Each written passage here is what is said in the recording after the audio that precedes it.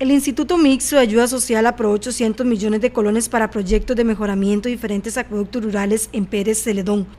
De acuerdo con la directora regional de la institución, Cinia Espinosa, ya se cuentan con los recursos y se espera que pronto las asadas inicien su ejecución. Estamos en este momento desarrollando una serie de, proyectos de acueductos, donde vamos a financiar unos ocho acueductos en el cantón y en el resto de la región y que ronda más o menos unos 800 millones de colones la inversión que va a hacer el IMAS en esos acueductos y otros proyectos este, eh, productivos que estamos trabajando en este, en este momento que son sumamente importantes para el desarrollo del cantón. Entre los acueductos beneficiados están Pacuarito, la Guardia de San Pedro, San Pedro, la Guardia de San Isidro del General, Miravalle, San Rafael Norte y San Agustín.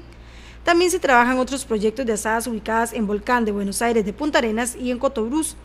Eh, más, más al, sur en Corredores, que estamos trabajando uno, y en Cotobruz, que estamos eh, analizando un, un, proyecto con, con, acueductos en La Maravilla de, de, Cotobruz. Pero digamos que estos ya, estos que mencioné primero, ya tienen el financiamiento y muchos son para cambios de tanques, para cambio de tubería y para mejoras en las, en las tomas de donde están, donde están tomando el agua esos acueductos. La directora regional de Lima dijo que por muchos años en la institución le brinda apoyo a estas agrupaciones. Históricamente hemos trabajado con las asadas, digamos que son como las más, que se ubican en los lugares más pobres de la, de, de la región y por ejemplo, le puedo decir, em, desde hace más de 20 años, el IMAS viene apoyando los acueductos, las asadas este, en, en, la, en la región. Ah, ya hay un acueducto que se me queda, que es el de Volcán de Buenos Aires, que, que ya, ya ese ya prácticamente está